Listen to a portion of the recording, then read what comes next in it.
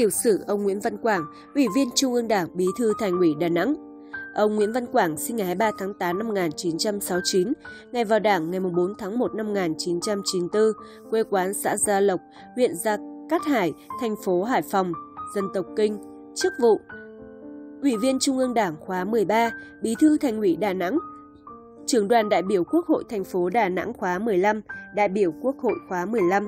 trình độ lý luận chính trị cao cấp, trình độ chuyên môn tiến sĩ luật. Quá trình công tác từ tháng 9 năm 1990 đến tháng 8 năm 1996, ông là cán bộ điều tra viên phòng điều tra hình sự.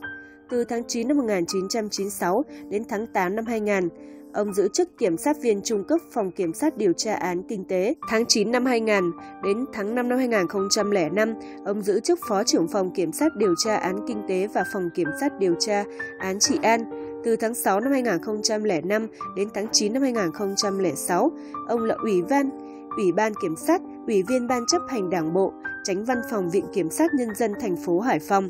Từ tháng 10 năm 2006 đến tháng 6 năm 2007, ông là kiểm sát viên trung cấp Viện trưởng Viện Kiểm sát Nhân dân quận Lê Trân, thành phố Hải Phòng. Từ tháng 7 năm 2007 đến tháng 7 năm 2012, ông giữ chức kiểm sát viên trung cấp, ủy viên Ủy ban Kiểm sát, ủy viên Ban chấp hành Đảng bộ, phó viện trưởng Viện Kiểm sát Nhân dân thành phố Đà Nẵng. Từ tháng 8 năm 2012 đến tháng 9 năm 2014, ông giữ chức Bí thư Ban Cán sự Đảng, Bí thư Đảng ủy, Ủy viên Ban chấp hành Đảng bộ khối cơ quan dân chính Đảng, Viện trưởng Viện Kiểm sát Nhân dân thành phố Hải Phòng.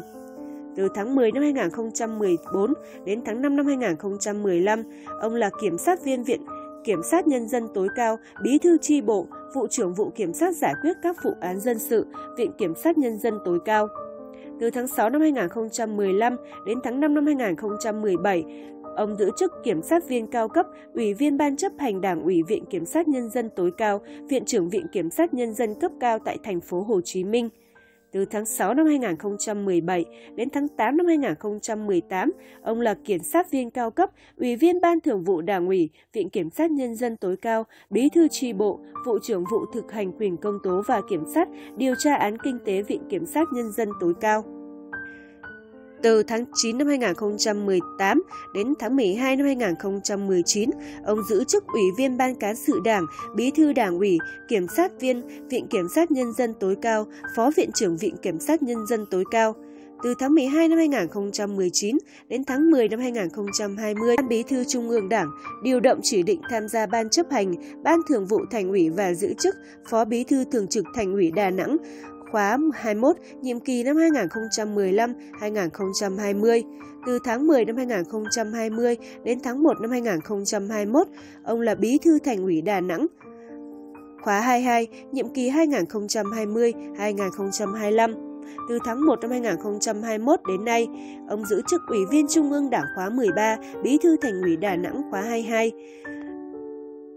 Ông là đại biểu Quốc hội khóa 15 và trưởng đoàn đại biểu Quốc hội thành phố Đà Nẵng, tổ trưởng tổ đảng.